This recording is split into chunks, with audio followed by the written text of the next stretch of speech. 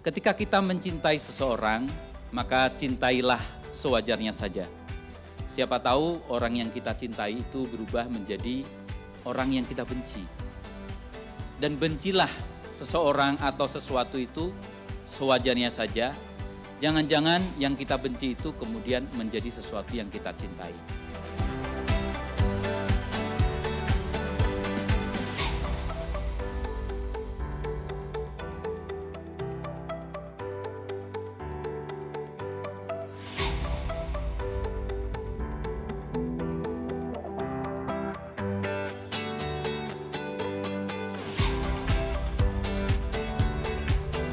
Tapi intinya saya memberikan apresiasi lah ya kepada pameran hari ini, kartun ya. Dari kecil saya suka kartun.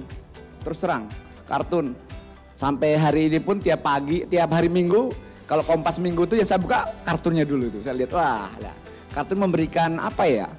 Rasa humor yang tinggi. Kemudian kalau dia memberikan kritik, kita pun nggak terasa dikritik.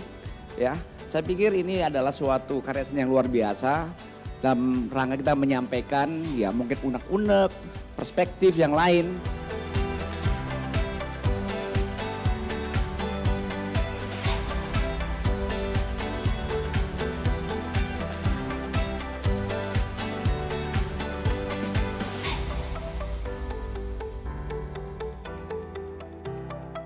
Kita tuh pengen ngajak eh, para hadirin semua yang hadir itu, yang menonton karyanya untuk juga punya eh, statement juga gitu loh.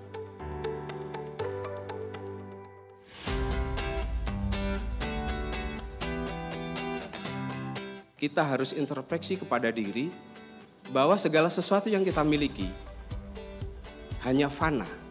Sesuatu yang kita miliki itu sementara. Maka segala kemelekatan itu harus pelan-pelan kita tinggalkan.